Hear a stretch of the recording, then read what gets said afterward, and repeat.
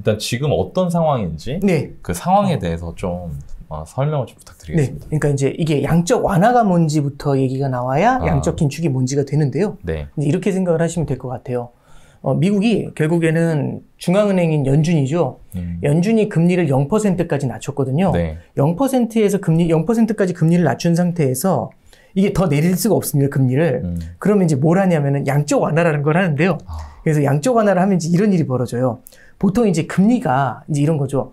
금리가 0%로 낮아져서 금리를 내릴 수 없는데 금리를 내려야 돼요. 그럼 이게 말이 안 되잖아요. 아, 0%인데 그러네요. 어떻게 더 내리지? 근데 네. 가능한 게 단기 금리가 0%까지 내려온 겁니다. 나. 중앙은행은 기준금리라고 해가지고요. 하루짜리 기준금리를 조절하거든요. 네. 네. 이게 이미 0%까지 내려왔지만 문제는 10년짜리 금리는 아직 하늘에 떠 있는 겁니다. 아. 그러면 이 10년짜리 금리를 중앙은행이 원래 얘는 잡아서 조절하지 않는데 얘를 잡아서 이제 족치는 거죠. 막 때리는 겁니다. 아. 그러면 10년짜리 국채 시장에다가 유동성을 마구 집어넣는 거죠. 그러면 음. 10년짜리 국채 시장에 유동성이 들어오니까 금리는 돈의 값이잖아요. 네. 돈의 공급이 늘어나니까 10년짜리 금리가 훅 하고 내려오게 돼요. 아. 그래서 기준금리를 낮춘 다음에 양적 완화를 통해서 10년짜리 장기 국채 금리를 낮추게 됩니다. 이렇게 하면 실물 경제의 금리가 낮아지면서 경기 부양 효과가 커지거든요.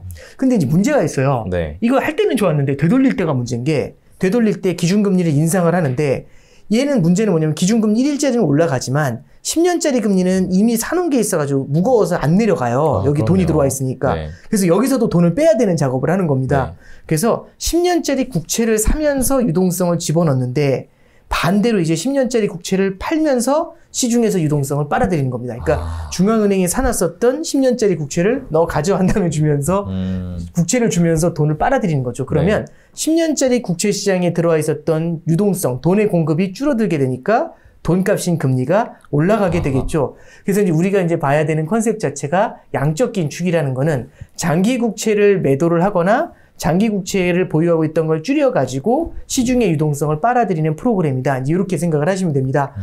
근데 이게 이제 두 가지 의견이 있어요. 첫 번째는 이미 반영됐다. 요즘 이제 젊은 분들은 킹 반영이라는 표현을 이미 많이 쓰더라고요. 그래서 이제 킹 하- 합쳐가지고 이제 말씀하시는 것 같은데 이게 이제 이미 다 반영된 거 아니냐. 이렇게 얘기하시는 분들이 있고 네. 두 번째는 아니다. 이게 반영을 어떻게 다 할 수 있냐 이거죠. 이제 사실 근데 저는 약간은 후자 쪽에 좀 무게를 두고 싶은 게 아. 일정 수준 반영한 것에 대해서는 공감을 합니다. 네. 근데 이게 어느 정도의 파급 효과를 줄지에 대해서는 아직 아무도 몰라요. 연준 내에서도 이게 어떻게 될지 아무도 모릅니다. 네. 양적 긴축을 해가지고 문제는 유동성 공급을 줄이는데 음. 국채 시장의 유동성 공급을 줄이는 것도 문제지만 이것 때문에 올라버린 금리가 다른 어느 약한 고리를 어떻게 때릴지는 아무도 그렇죠. 모르거든요. 네. 그러니까 만약에 시장이 이걸 다 선반영할 수 있다면 주식시장의 급등급락이라는 건 없을 겁니다. 음. 사실 말이 안 되잖아요. 네, 급락하는 것 그렇죠. 자체가 말이 안 돼. 이미 선반영이 됐는데. 네. 그래서 아직 선반영이 안 된 부분은 분명히 존재할 것 같다라는 게 1번입니다. 음. 근데 다만 이미 양적 긴축에 대한 얘기가 올해 초부터 계속 흘러나와가지고 계속 부담을 줬거든요. 네. 그래서 이미 이게 어느 정도 반영은 돼 있지만 아직 반영되지 않은 알파가 존재한다라는 게 아. 그게 우리가 느끼는 가장 큰 부담이라고 생각하시면 될 것 같아요.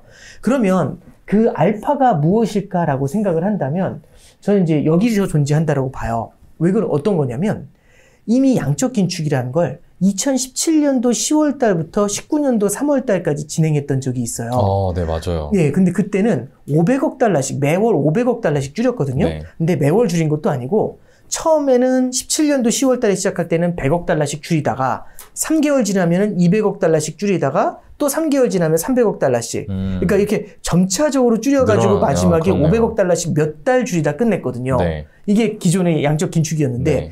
이번에 스타트부터가 475억 달러인데 그냥 500억 달러라고 할게요. 네. 이게 이제 500억 달러 시제 스타트부터 500억 달러로 줄이고 6, 7, 8이 지난 다음에 9월 달부터는 1000억 달러씩 그 두 배를 어. 줄인다고 합니다. 그러면 속도라든지 규모 면에서 2017년, 18년에 진행했었던 것보다 훨씬 더 빠르다라는 거겠죠. 네, 그렇네요. 예, 그러니까 사실 이 정도를 경험해 본 적이 없는데 이걸 어떻게 선반영할까? 그래서 저는 이제 가장 우리가 우려해야 되는 것 중에 뭐가 있냐면 이 속도가 너무 빨라지는 것에 대해서 우리가 조금 좀 관심을 가질 필요가 있고 이게 속도가 빨라지는데 기준금리 인상이라는 또 다른 긴축이 같이 진행이 되잖아요. 네. 그래서 이제 여기서 우리가 조금 이제 어 그러면 더블 긴축 음. 결국에는 하나가 주는 영향하고 그러니까 이제 펀치를 두 대를 맞을 아, 그렇죠. 때두 대를 동시에 맞으면은 1 플러스 1이 아니라 3이 될 수 있잖아요. 아, 그렇죠. 그래서 이제 우리가 예측하지 못했었던 음. 선반영할 수 없었던 영역들이 불거지는 것들 이런 것들이 저는 좀 앞으로는 조금 불확실성이 아니냐 아. 이렇게는 좀 생각하고 있습니다.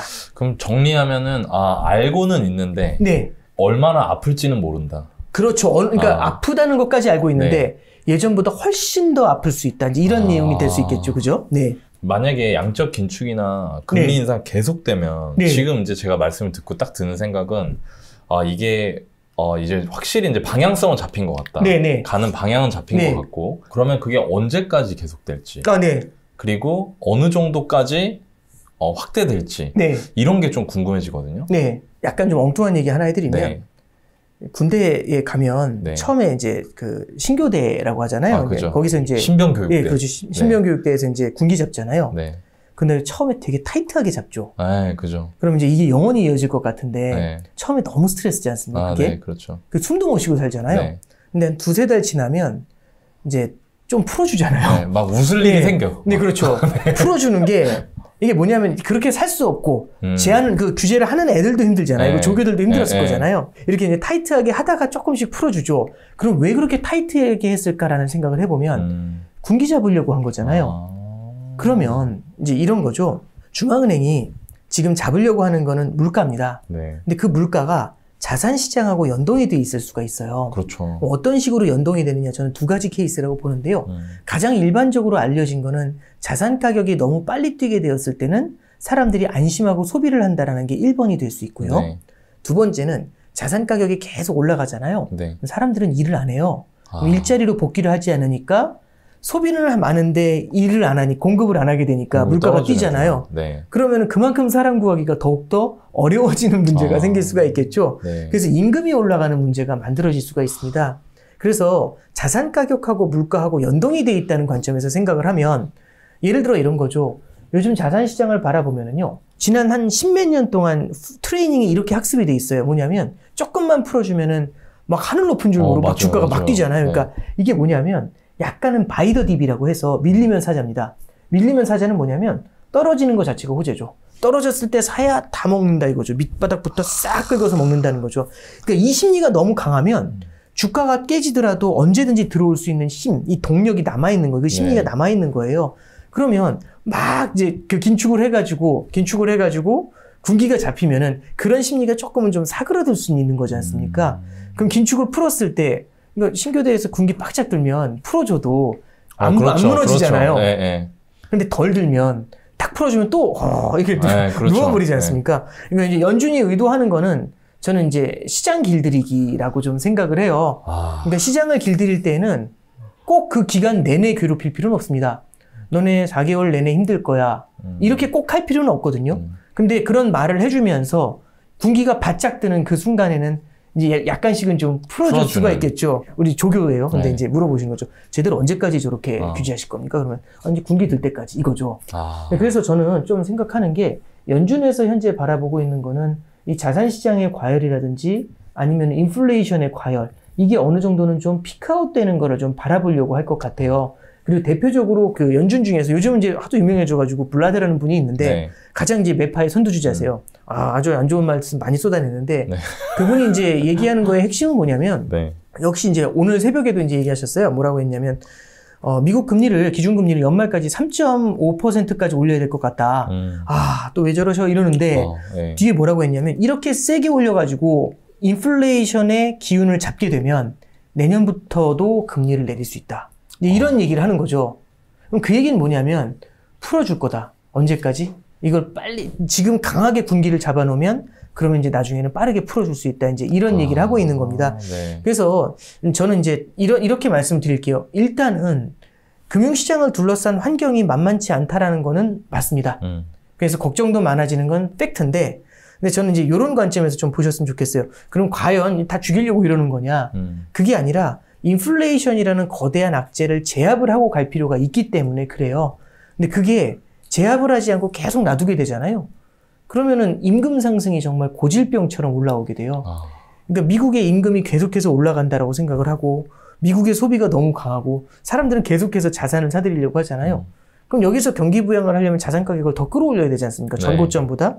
그러면은 나중에 긴축을 했을 땐 지금도 이만큼 떠 있는 데에서 긴축을 하니까 떨어질 때 굉장히 아프잖아요. 네. 요만큼만 떨어져도 네, 고통스럽잖아요. 맞아요. 더 높다면 떨어졌을 때 받는 아, 고통이.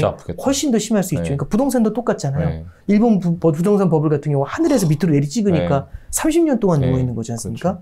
예, 그래서 지금 이제 연준에서 바라보는 건 인플레이션에 대한 제압을 위해서 그 심리를 조절하기 위해서 지금 현재는 좀 긴축을 하고 있고요. 그러기 위해서 이제 단기간에 결국에는 권투를 할 때도 단기간에 이제 예, 충격과 공포 전략을 쓰는 게 아. 좋은 거잖아요. 그래서 그런 식으로 해서 단기간에 한꺼번에 쏟아내고 음. 그런 다음에 이제 그 기선을 제압을 했다라고 하면은 그때는 어느 정도는 속도를 조금씩 늦춰가는 전략들 아. 이런 것들을 좀 고민하게 될 것 같습니다. 확실하게 그리고 네. 어, 가급적 부작용 적게 네, 그렇죠. 끝내려고 하는 거군요. 네, 그렇죠. 그러면 부작용이 적으려면은요. 물론 단기에는 아플 수 있지만 빨리 째버리는 게 좋아요. 그러니까요. 그렇죠. 질질 끌고 가서 네. 좋을 건 없거든요. 그러니까 최대한 빨리 해버려야 나중에 오히려 부양을 할 때도 훨씬 더 큰 도움을 준다. 이제 이렇게 볼 수가 있어요. 네. 제가 이거 조금만 더 이어서 이제 부연 설명을 해드리면 음. 오늘 이제 하는 총재께서도 이제 비슷한 이제 간담회에서 얘기를 하셨는데 이런 얘기를 하십니다. 이게 이분이 예전에 기자가 질문을 했었어요. 뭐냐면 네. 어, 당신은 매파십니까? 비둘기파십니까? 딱 이렇게 음. 질문을 했는데 거기에 대해서 이제 답변을 하신 게 이렇게 답을 하시더라고요. 단기적으로는 매파가지만 매파지만 아. 중장기적으로는 비둘기파가 되고 싶다 이런 얘기를 하셨는데 이 의미가 되게 저는 중요하다고 음. 봐요. 뭐냐면 우리나라가 결국엔 고령화 사회로 갈 거지 않습니까? 네. 그리고 노령화 사회로 갔었을 때는 우리나라 제조업 경쟁력이 떨어질 수도 있거든요. 그렇죠. 떨어진다는 확정은 아니지만 떨어질 가능성이 높지 않습니까? 네. 일본의 케이스를 보더라도 그러면 그만큼 경제 자체가 나이가 들어가고 경제 자체가 연약해져 간다라고 하면 그만큼 많은 부양책들이 필요할 수 있잖아요. 네. 그럼 비둘기파적인 정책들을 굉장히 많이 써서 지원을 해줘야 될 거예요. 음. 근데 만약에 물가 상승이 계속해서 남아 있다라면은 물가라는 건 결국에는 화폐의 가치가 떨어지는 걸 얘기해요. 화폐의 가치가 떨어질 거라는 심리가 강한데 돈을 뿌리잖아요. 아. 와, 그러면 그 처방을 할 때마다 물가가 난리가 납니다.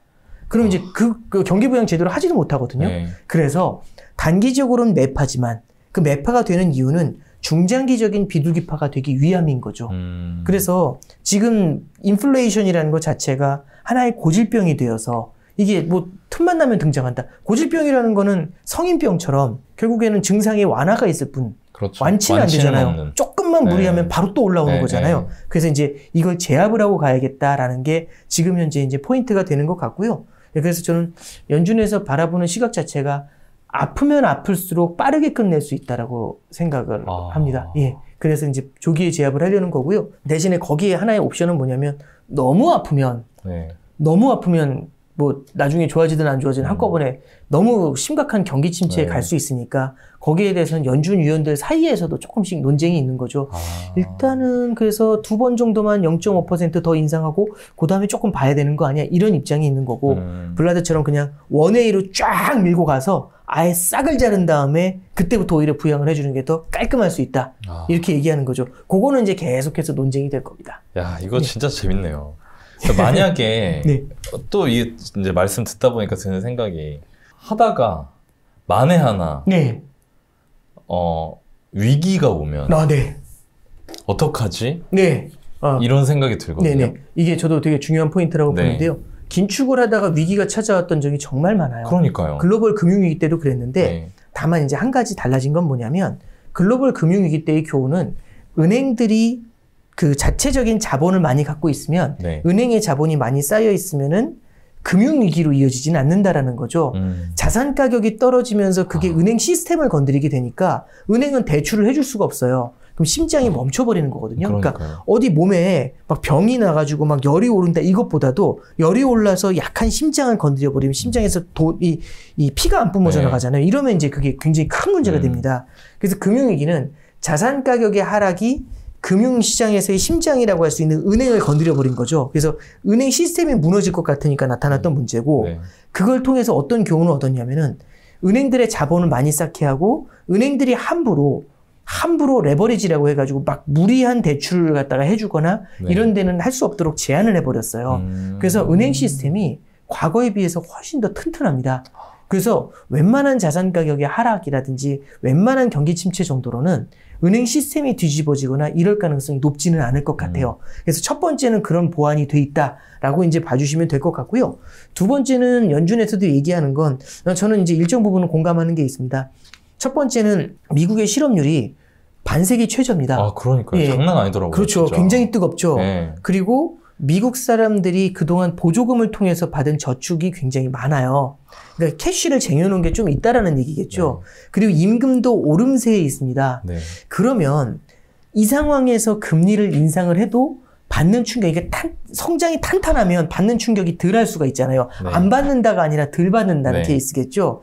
그래서 그리고 만약에 여기서 시간을 더 질질 끌어가가지고 오히려 경기가 둔화되는 사이클에서 뒤늦게 금리 인상에 나서면 그것보다는 지금 조금 경제 체력이 좀 버티고 있을 때 이때 인상을 해줘야 최소한의 충격을 가할 수 있다. 아, 그러니까 때리는 건 똑같더라도 받는 사람이 굉장히 튼튼한지가 네. 20대인지 50대인지가 되게 중요할 수가 음. 있는 거잖아요. 그래서 적어도 지금은 20대 같은 체력이니까 이럴 때 빠르게 진행을 하자라는 얘기를 하고 있는 겁니다. 아, 확실히 이게 그 이전에 몇 차례 위기들을 겪으면서 네. 막 교훈을 쌓았던, 쌓았던 것 그렇죠. 같아요. 네. 교훈을 쌓았고, 그리고 아까 말씀하신 것처럼 그 미국의 고용이나 이런 게 네. 굉장히 좋아져서. 네. 근데 사실 우리나라도 요즘에 네. 무슨 뭐 아르바이트 시급 막 아, 예. 13,000원, 어. 14,000원. 저는 이제 미국하고는 조금은 좀 차이가 있는데 네, 네. 미국 같은 경우는 워낙에 실물 경기가 워낙에 튼튼해요. 근데 네. 우리나라 같은 경우는 임금 자체가 절대적으로 미국에 비해서 좀 낮은 면들도 음. 좀 있다라고 보고요. 두 번째는 저도 되게 조심스러운 말씀이긴 합니다만 네. 젊은 층에서 또 이제 투자에 대한 관심이 증가했다라는 것들 그런 것들에 대비해 가지고 임금이 좀 이제 아르바이트 그쪽에 있는 임금들 이런 네. 것들이 조금 낮은 것들 그런 것들이 좀 이슈가 되는 거 아닌가 아. 예, 그 정도로 생각을 합니다. 아, 네, 그렇군요. 제가 또 궁금했던 게, 네, 그 최근에 네, 몇년 동안은 인플레보다 네, 디플레란 소리를 네. 훨씬 많이 들었던 네, 것 같거든요. 맞아요. 예, 그리고 제가 저도 이제 공부하면서 이렇게 봤는데 2010년대로 넘어오면서부터 저물가 저금리더라고요. 그 전에 뭐 예전 노무현 정부 때만 해도 지금이랑 비슷하게 국내 물가 상승률 막 5%씩 5%까지 네. 급등하고 막 이랬던 시기도 있고 네. 갑자기 왜 이렇게 된 거죠? 이게 저도 참 당황스러웠던 건 네, 작년에 저는 이제 어떻게 얘기를 했었냐면 네, 물가 상승세가 일시적일 것 같다라는 연준의 의견에 아. 동의를 했었어요. 네, 근데 이제 그렇게 봤던 가장 큰 이유 중에 하나가 예, 첫 번째는 이거죠. 지난 십몇 년 동안 음, 물가가 제대로 올라온 적이 없어요. 오히려 인플레보다는 일본식의 디플레이션이 훨씬 더 무서웠던 거예요. 네. 실물 경제에서. 그래서 실물 경제의 성장에 굉장히 큰 구덩이가 구덩이가 이제 파진 겁니다. 그러면 우리 집 앞에 디플레이션이라는 구덩이가 파진 거죠. 네. 그럼 이거 여기 메우면 되잖아라고 하는데 돌을 하나 떨어뜨려 보니까 소리가 안 나요. 어. 끝도 없이 떨어지는 거죠. 한참 떨어져서 퐁 소리가 나는 네. 거죠. 그러니까 뭐야 이게? 그럼 이걸 메우려면 저 앞에 있는 산을 허물어서 메워야 돼요. 아, 그러니까 이거 메울 방법이 없는 거죠. 네. 그러면 무슨 생각을 하냐면 웬만큼 돈을 퍼 넣어도 여기 메울 방법이 없다라고 음. 저는 생각을 하고 있는 겁니다. 네. 그러니까 여태까지 있었던 것들은 그 디플레이션의 골을 메우기가 굉장히 어려울 것이다. 그런 상황에서 코로나가 터진 거죠. 그러면 과연 모두 무슨 생각을 했느냐? 인플레이션이 고민이 아니라 공포 장난 그렇죠. 아니었겠네. 진짜. 이거 일본식으로 가면 큰일 난다. 네. 답 없다. 30년 누워버린다. 네. 이거죠. 그래서 어마어마한 유동성을 갖다가 투하를 하기 시작을 음. 했던 겁니다. 근데 그렇게 투하했던 유동성이 생각했던 것보다 훨씬 더 많았던 거죠. 아, 일단 첫 번째는 무제한 양적 완화라는 걸 통해서 5조 달러를 퍼줬고요. 음, 그리고 이렇게 푸는 것뿐만 아니라 이게 이제 은행 시스템에 유동성을 넣어주는 것뿐만 아니라 더 무서운 건 뭐냐면 직접 캐시를 주는데 2020년도 3월이 코로나였잖아요. 네. 4월 달에 2.2조 달러를 퍼줘요. 그러면서 개인들한테 1,600달러씩을 줬거든요. 보조금으로. 예, 보조금으로. 그죠? 와, 캐시로요. 그렇죠. 이게 주는 방법이 다양한 건데 캐시로 주면 정말 바로 소비합니다. 장난 아니죠. 일자리를 창출해 준 것도 아니고 2.2조 달러 금액이라는 게 우리가 와닿지 않을 수가 있는데 이게 어느 정도 금액이냐면 금융위기 때 7천억 달러 구제금융 하겠다고 하니까 난리가 났었어요. 의회에서 미쳤다고 납세자들의 돈을 어떻게 이 돈을 이렇게 함부로 쓸 수 있냐고 7천억 달러가 0.7조 달러예요. 근데 2.2조 달러를 한 방에 퍼준 거죠. 그게 20년도 4월입니다. 거기서 안 그치고 아, 20년도 12월 달에는 트럼프 행정부에서 9천억 달러를 또 뿌렸어요. 또 줬어요. 1인당 600달러씩 줬습니다.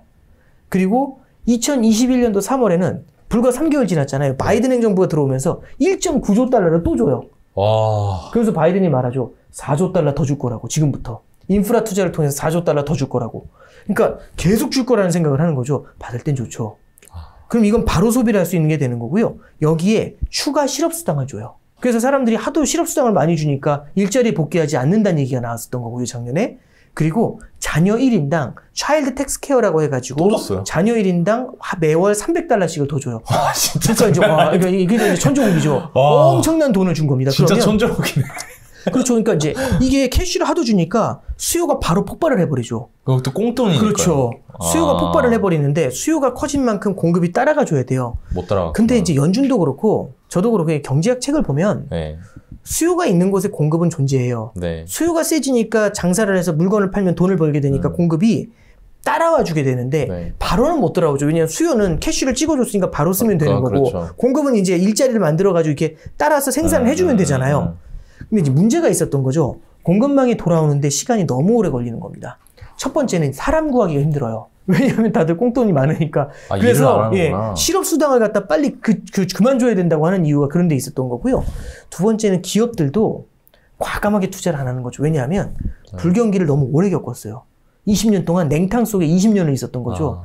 약간 온기가 들어오면 사람들은 그, 그 냉탕 속에 20년 있었던 사람은 약간의 온기가 들어도 안 믿어요. 금방 사라질 아. 거라고. 아. 그러면 이게 무슨 얘기냐면 20년 동안 불황을 겪으면서 투자했다 하면 실패한 거죠. 투자를 늘렸다 하면 망하는 거예요. 그러면 갑자기 수요가 폭발을 해요.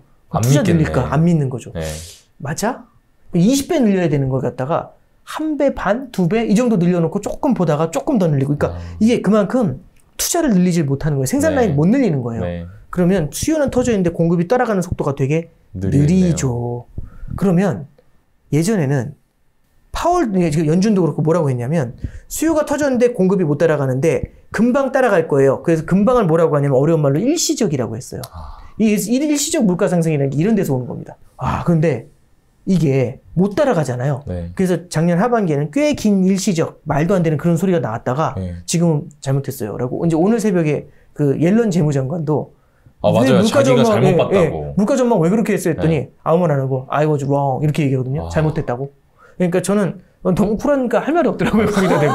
그러니까 이제 뭐 그 그만큼 이제 어, 세상의 변화에 대해서 좀 어, 잘못 읽었냈던 음. 거죠. 그러면 아까 말씀드린 것처럼 어, 집 앞에 파져 있던 그 거대한 구덩이는 어떻게 된 거냐? 산을 허물어서 막 갖다 쳐넣으니까 이게 위로 훅 올라와 버리는 아. 거죠. 와 이걸 메워? 이 느낌인 거죠. 절대 메울 수 없을 줄 알았던 그 구덩이가 훅 메워지는 겁니다. 그래서 40년 만에 거대한 인플레이션이 온 가장 큰 이유는 방금 말씀드린 것처럼 폭발적인 수요, 그 다음에 따라가지 못하는 공급망, 아. 이게 이제 가장 큰 거고, 그 다음에 이걸 갖다가 막아주기 위해서 연준이 나서서 제한을 해줘야 되는데, 아. 연준이 금리를 올리면서 제한해줘야 되는데, 일시적이라고 한. 거죠. 그래서 이제 노래 가사 같지만, 네. 결국에는 이제 굉장히 강한 수요와 음. 불안한 공급과 그걸 지켜보는 연준이었던 거죠. 이 전쟁 같은 인플레이션. 이렇게 만들어냈던 겁니다. 참, 참. 진짜 그러니까 전쟁 40년이죠. 그렇죠. 40년 만에 인플레이션이 오는 이유가 이런 데 있는 게 아닌가. 그렇게 싶습니다. 아, 이게, 아, 그렇네요. 네. 그, 지금 말씀하신 것 같이 그 되게 뭐 다양한 공급이, 그러니까 공급 속도가 늘어난 증가된 수요폭을 못 따라오는 여러 가지 원인이 있겠지만, 네. 전쟁도 있었잖아요. 말씀하신 그렇죠. 것 같이. 예. 그러니까 전쟁은 저는 이제 젓가락이 하나 더 얹혀진 거라고 봐요. 그러니까 음. 2월 24일 날 전쟁이 터졌는데 그때도 이미 소비자 물가 지수가 6%까지 올라왔었어요. 그러니까 이미 그 전에 인플레이션이 이미 이슈가 된 거죠. 그리고 거기에 전쟁이 딱 붙으면서 화룡 점정이라고 해야 되나요? 확 그냥 불타 올랐던 겁니다. 그러니까 전쟁만으로 모든 걸 설명할 수는 없겠지만 네, 그렇죠. 전쟁이 영향을 크게 준 것도 팩트입니다. 아. 네. 그 아까 말씀하신 것 같이 그 일시적이라고 판단할 수밖에 없었던 이유가 있을까요? 왜 일시적이라고 봤을까요? 그러니까 이게 방금 전에 말씀드렸던 것처럼 공급망이 금방 따라와 줄 거라는 착각을 했던 게 첫 번째였던 것 같고요. 네. 그게 이제 교과서 공부하면 그런 결론을 얻게 됐던 것 같아요. 음. 네. 그래서 이제 이제 두 번째는 앞서 말씀드렸던 것처럼 20년 동안 불황을 겪으면서요. 아, 디플레이션이 너무 두렵다라고 생각을 하니까 네. 인플레이션이 올라올 때도 그때도 그랬거든요. 08년도에도 물가가 막 올라올 때 어, 인플레이션 해가지고 이거 제압하려고 하니까 금융위기가 와요. 아, 훅 주저앉아 맞아요, 버려요. 국제유가가 150불에서 그냥 딱 한 달 만에 33불까지 떨어져요. 그거 보고 얼마나 놀랐는지 몰라요, 사람들이. 음. 그리고 이제 11년도에도 인플레이션 해가지고 막그 국제유가 오르고 난리였는데 이거 긴축하러 들어가니까 눈 녹듯 사라져요. 네, 그렇더라고요. 예, 진짜. 그러니까 이게 결국에는 과거에 몇 차례 경험을 통해 보니까 인플레이션은 왔다 하면 잡으러 가잖아요. 그냥 쓱 사라지는 거예요. 너무 약체였던 거죠. 음. 그냥 딱 이렇게 겉보기에만 뭐 되게 뭐 단단해 보이는데 턱 건드리니까 훅 하고 녹아버리는 눈사람처럼 녹는 거예요. 네. 그러니까 이번에도 인플레이션이 딱 올라오니까 나도 별거 어. 아니야. 일시적. 일시적이라는 얘기는 이런 이런 거잖아요. 물론 뭐 이런 표현은 잘 안 쓰긴 하지만 얘를 제가 추천해 드렸어요. 사람 하나를. 네. 그래서 다 이제 고용을 하셨어요. 아, 훌륭한 친구라고. 근데 첫날부터 지각해. 그래서 어. 이제 일주일 내내 지각하니까 저한테 이제 물어보신 거죠. 그 친구 왜 그래요? 음. 그랬더니 제가 아, 원래 그런 친구 아닌데 요즘 좀 정신적으로 좀 피곤한 일이 있어서 일시적으로 그래요. 음. 일시적으로 그렇다는 건 뭐냐면은 원래 그런 애 아니라는 얘기잖아요. 예. 그러니까 인플레이션 아니에요. 걱정하지 마세요. 이제 이렇게 얘기를 했던 거예요. 예. 근데 그게 아니었던 거죠. 아. 예.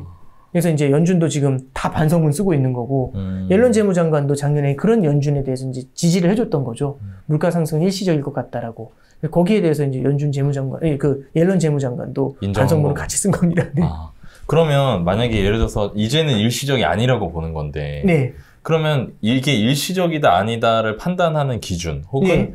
아 이게 이제 이거는 확실히 인플레이션입니다. 네. 라고 판단한 근거가 뭐가 있을까요? 그러니까 일시적이라는 표현 자체는 네. 일단은 틀렸다는 게 맞고요. 네. 왜냐하면 우리가 일시적이라고 할 때 예를 들어 이런 거죠. 제가 이제 1층에 예를 들어서 1층에 제가 택- 택배를 시켰는데 음. 택배비를 드려야 돼요. 10만 네. 원을 드려야 되는데 예를 들어 네. 가정을 하는 거예요.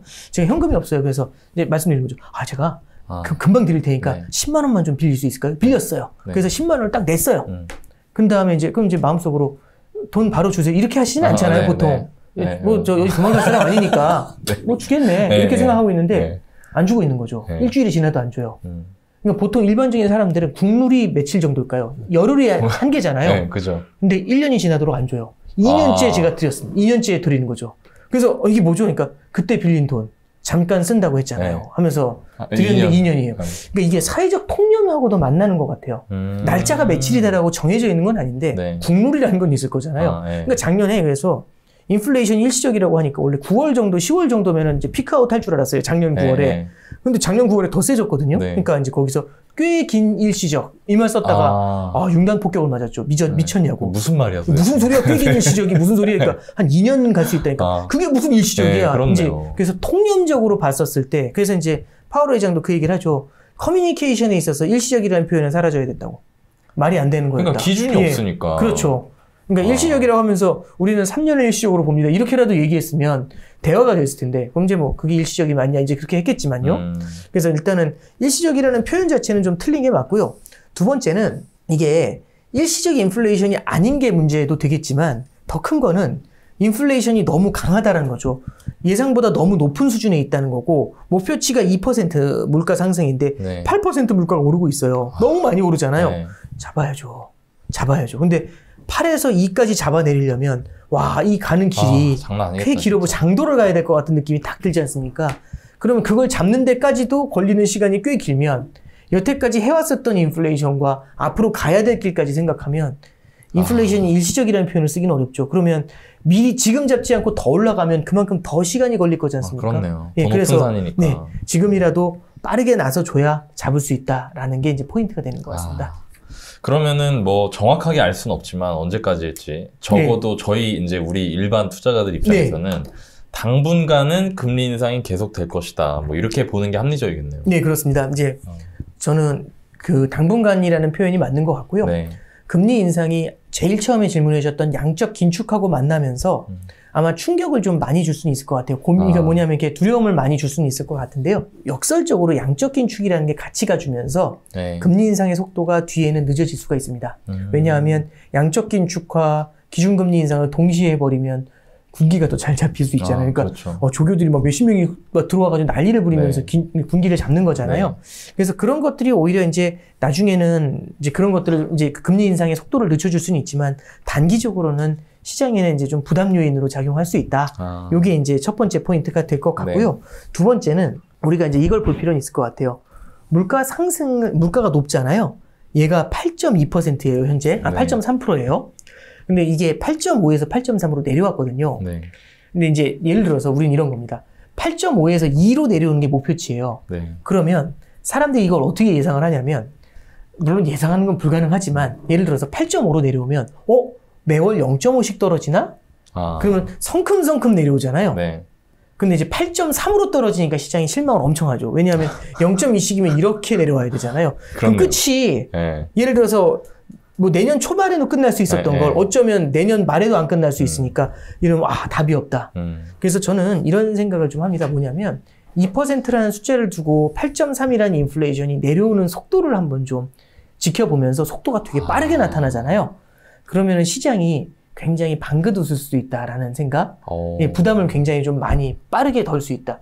왜냐하면 그런 거잖아요. 지금 앞만 아파도 이 아픈 그 크기가 조금씩만 확확 그렇죠. 줄어든다라고 네. 하면 견디자.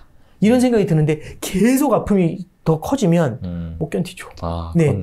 예, 그래서 저는 이제 그 물가의 하락 속도, 예, 높았던 물가가 이제 좀 이렇게 완화가 되는 속도, 요걸 좀 같이 보시면 좋을 것 같다. 이렇게 아. 생각합니다. 생각보다 심플한 것 같은 게 지금 금리 올리는 이유는 하나 물가. 네. 그러니까 반대로 물가가 안정세를 보이면 금리도 네. 이전하고는 달라질 수 있겠다. 네, 그렇죠. 올리는 게 달라질 수 네네네. 있겠다. 이런 식으로 보고 물가를 좀 유심히 보시면 도움이 되겠네요. 네, 그렇죠. 예, 아. 그런 관점에서 봐주시면 됩니다. 그 좀 전에 아까 잠깐 설명해 주시긴 했는데 그 저희 그 시청자분들이 좀 네. 궁금해하실 수 있어서 네. 제가 한 가지 여쭤보자면 네. 금리 인상이 어떻게 인플레를 잡을 수 있는 건지 아, 아, 예. 네, 그 메커니즘을 네, 간단하게 메커니즘 좀 한번 간단히 말씀드리면요. 예를 들어 이런 거죠.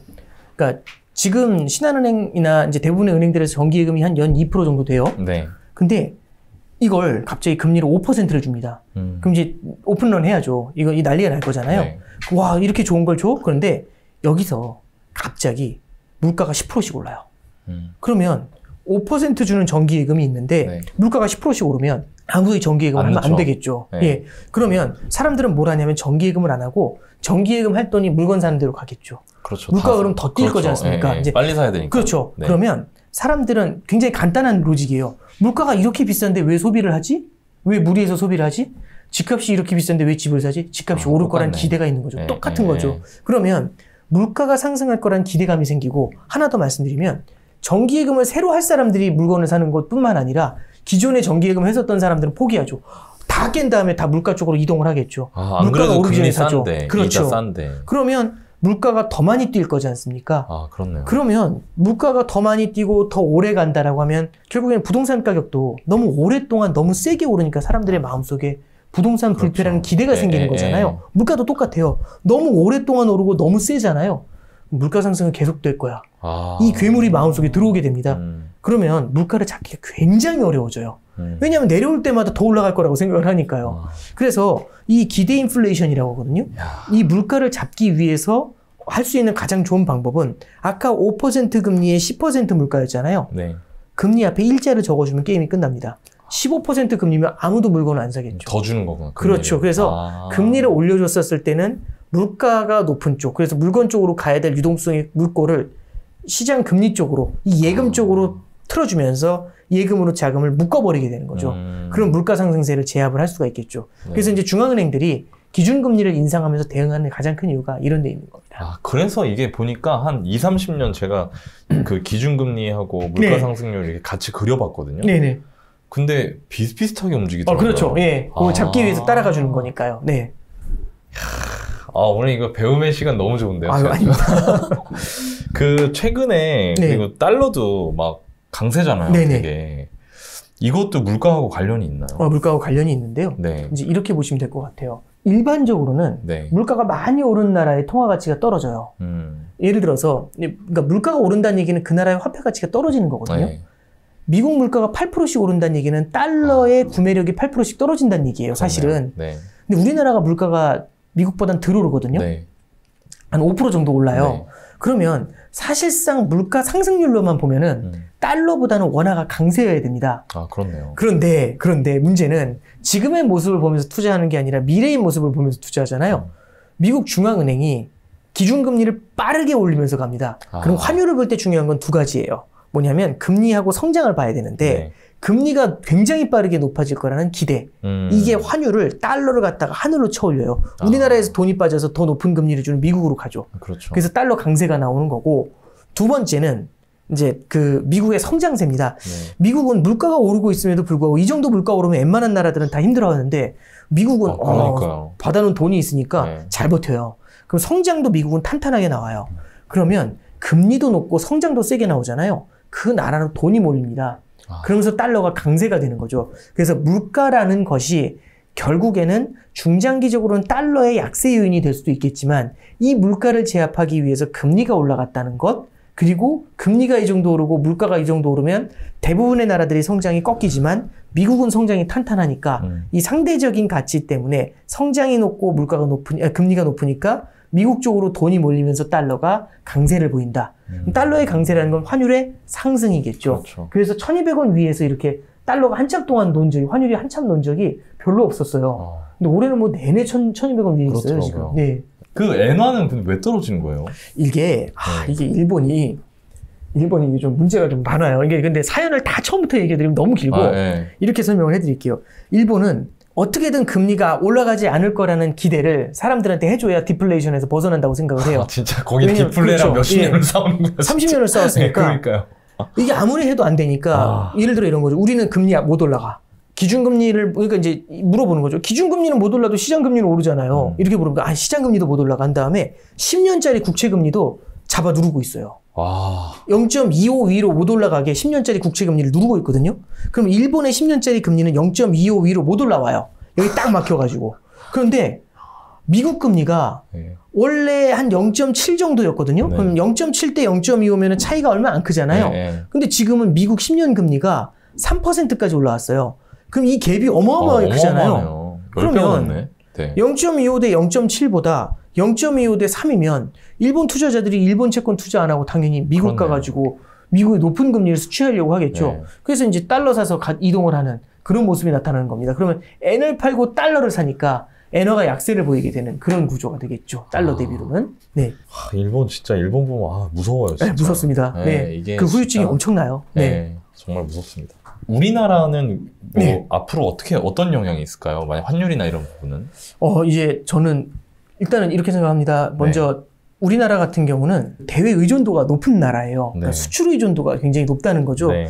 물건을 생산을 제조 강국이지 않습니까? 근데 네. 물건을 생산하는데 생산할 때 제일 중요한 건 누가 사주냐의 문제예요. 음. 근데 우리나라 내수 시장이 작잖아요. 네. 그러니까 대외 의존도가 높은 이유가 대외 수요 의존도가 높은 거죠. 그럼 대외 수요의 수- 그 물건을 판다는 건 수출을 한다는 얘기거든요. 네. 그래서 저같이 이제 매크로 보는 사람들도 우리나라 실업률을 잘 안 봐요. 아. 잘못 외워요. 그냥 보면 그런가 보다 이러지. 음. 근데 미국 고용 실업률 어, 이런 거다 중요하죠. 외우거든요. 네, 거기다 팔아야 되니까. 그렇죠. 거기다 네. 팔아야 되니까. 네. 중국도 마찬가지예요. 그래서 참 이제 매크로 보는 사람들이 우리나라 얘기는 거의 안 하고 미국 얘기하고 중국 얘기하는 가장 큰 이유가 시장이 어디 있어요? 이거거든요. 네. 시장이 거기에 존재하는 겁니다. 그러다 보니까 지금 보면은 우리나라의 미국의 물가가 올라간다는 얘기는 그만큼 금리를 올릴 거고 물가가 오르고 금리가 오르면 시차를 두고서 미국의 소비를 갖다가 억누를 수가 있겠죠. 음. 미국의 소비가 눌린다는 얘기는 우리나라 수출이 악재네. 어려워질 수가 있는 거죠. 네. 그래서 최대한 빠르게 이 금리 인상이라든지 물가 상승에 대해서 미국이 제압을 해주는 게 굉장히 중요합니다. 음. 그게 실패해가지고 미국의 경기가 둔화세로 접, 접어들게 되면은 우리나라 같은 경우도 동반 침체를 겪을 수 있죠. 네. 수출 의존도가 높으니까 어쩔 수가 없는 겁니다. 음. 그래서 저는 인플레라는 것 자체를 바라보면서 이게 미국의 미국 경제의 성장을 저성장 기조로 접어들게 만드는 것들 이런 것들을 좀 경계해서 보는 게 우리나라 수출은 가장 포인트가 되지 않나 싶습니다. 아.